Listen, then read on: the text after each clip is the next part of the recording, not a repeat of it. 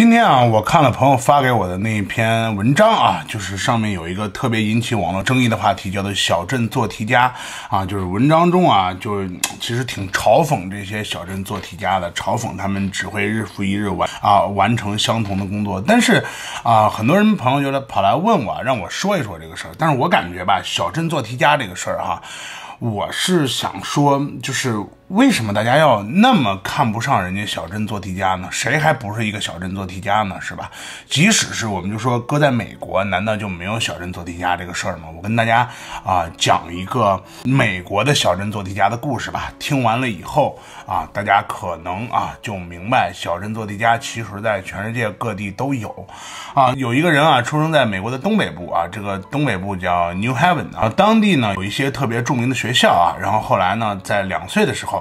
他的父亲就带着他的姐妹几个啊，就搬到了德克萨斯州。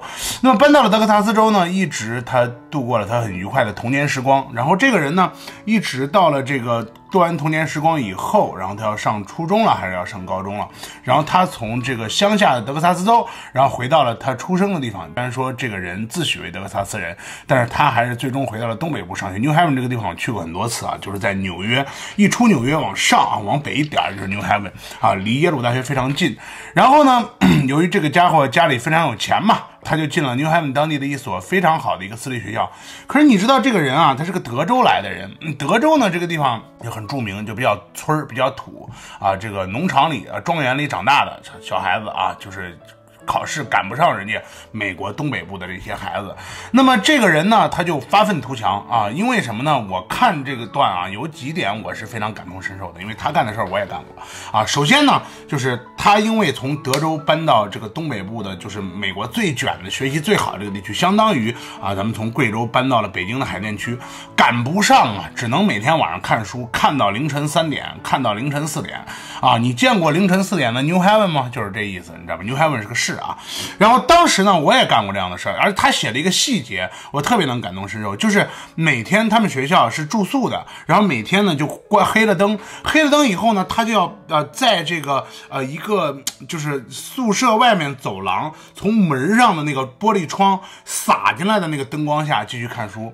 我在以前在私立学校上三年级的时候，我干过同样的事儿，我也是看书啊，当然我不是看教科书啊，我是看这个啊《灌篮高手》跟《七龙珠》啊，就。每天乐此不疲，看到凌晨两点啊，书其中还被老师收了好几本啊，他就干了这么一件事儿啊，最后他终于终于把学习赶上来，再加上美国大家说大学九品中正制靠推荐啊，看家里面的人啊推荐，最终他考上了耶鲁大学，这是一个典型的美国小镇做题家啊。这个人的名字呢叫做乔治沃克布什，他是美国的第四十三任总统，也就是我们通常说的小布什总统。可能我讲到这儿，有些人会很不屑，就说张司令，你就这，你就是。凡尔赛，我跟你说，这种人啊，美国的九品中正制，你知不知道？富人受的是精英教育，穷人受的不是。你没在美国接受过基础教育，你不要乱说。别看两篇自媒体，你就跟那胡说八道。大量的自媒体，他也没在美国接受过基础教育。我正儿八经是在美国接受过基础教育的。我告诉你啊，在美国一样有大量的小镇做题家。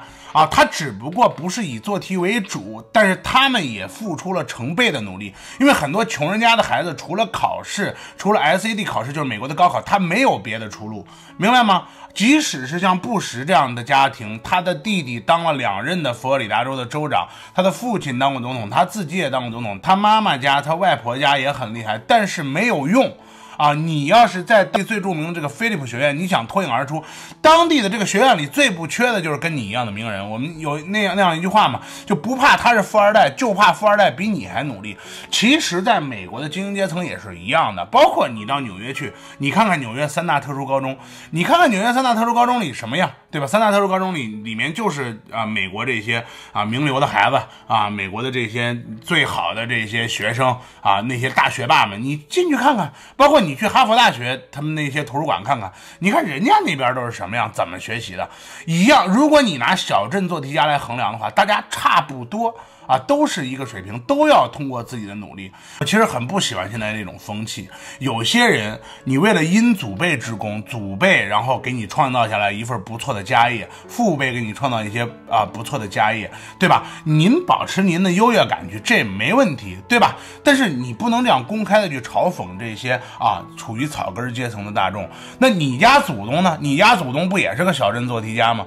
不也是个当兵的吗？不也是个小商人吗？不也是这些人嘛？对不对？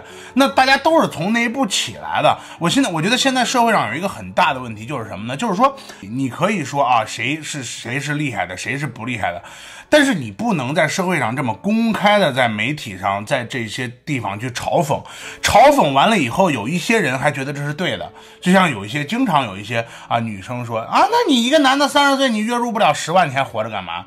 你看他自己挣多少钱，对不对？你看大量人他自己挣多少钱，那这就是一个很明显的一个社会上的一个风气的问题了。风气是这个样子，大家看不起草根，看不起穷人。就像我们以前经常说这样一个问题啊，为什么有些人他愿意干五千块钱的白领，坐在办公室里，坐在写字楼里，穿个高跟鞋，哒哒哒哒哒，他不愿意一个月一万五，他去送外卖？为什么？你还问我吗？因为在我们这个社会，我做白领不会被人看不起，我去送外卖会被人看不起。虽然说实际上白领就是以前纺织线上的工人，就是血汗工厂里的工人，就是制造业流水线上的工人，但是他不这么认为，他认为穿西装穿高跟鞋是高雅的。他认为送外卖是不高雅的，因为这个社会的等级观念、鄙视人的这个观念、阶级观念已经形成了。不管你愿不愿意承认、让不让说，这就是一个现实情况。这就是为什么小镇做题家这样的事儿会在全国引起这么大的热议。谁还不是一个小镇做题家，对吧？很多人我知道，我说到这儿，肯定很多人就会攻击我，对吧？说张司令，你啊，你是小镇做题家吗？你是靠你自己来的美国？我不是。我父母给我申请来的，对吧？而且我是一来到美国就有绿卡的，这个我是承认的。但是呢，啊，谁还不是个小镇做题家？我爸不是小镇，呃，我爸好像也不是啊。我爷爷不是小镇做题家吗？就算我爸我妈这一代，他们也是在国企里面长大的啊。那我姥姥呢？对不对？我姥爷呢？是吧？我爷爷呢？那不然他自己怎么考上的黄埔军校呢？他们那一届学生直接从福建到江西那边弄完以后，从江西一直走到了成都入校啊！你用两条腿走走，你试试，还一直穿越整个战区过长沙这一块儿，那那时候这一块儿的炮火连天。你要知道，就是。谁都是从这一步出来的，就算你不是从这一步出来，你爸、你爷爷也一定是从这一步出来的。为什么要去嘲笑草根呢？当然，我也没有说就草根再过分，你都不能说他点什么，对吧？如果有些人他出身于草根阶层，同时他又非常狂妄啊，非常就是又仇富又谩骂又这那，你说他两句没什么，怼他两句没什么。对吧？但是像这种人家没招你、没惹你的啊，我们去完全看不起这种底层出身的。你怎么知道底层出身的人将来取得什么样的成就呢？虽然有阶级这个东西在，虽然有背景这个东西在，但是那又如何呢？你永远不要低估一个人向上的决心啊！他就算是他一无所有，他现在啥也不是，他依然可以凭考试，他进到国家的核心部门，他可以凭考试，他来国外，他到一个大的公司、大的科研机构，他当一个很牛逼的导师，他当一个很牛逼的大学教授，那大家都是一样的呀，这有什么可嘲讽的呢？所以说，这就是我对小镇做题家的一种感受啊！很多人说，那美国就没有这样的事儿吗？美国真的不多。啊，至少我在社会生活中，至少啊，有钱人和这个有闲阶级或者中产阶级表现出来的这种啊阶级的这个看法中。至少没有人敢公开说这样的话，至少没有人敢公开做这样的事儿啊！我今天也给你们讲过美国小镇做题家的事，即使是一个出身名门的家庭，即使是美国考大学，你们说的九品中正制也好，什么也好，但是他依旧要靠自己的努力啊，他才能达成这个目标。所以说，不要去嘲笑任何一个小镇做题家。你我的出身虽然说有可能是不同的，但是我们的根儿都是一样的，好吧？所以说，我是很反感嘲笑、奚落、看不起草根的这种。啊，行为的啊，有些人可能就是刚吃饱了二十年肚子啊，刚过了几天富二代的日子，刚过了几天啊，或者家里刚有点小权利，他就忘了他自己是谁了。好吧，这期咱们也不多说了啊，这期就聊到这儿。有什么有意思的事儿啊，以后再跟你们说啊。这期聊到这儿，大家拜拜。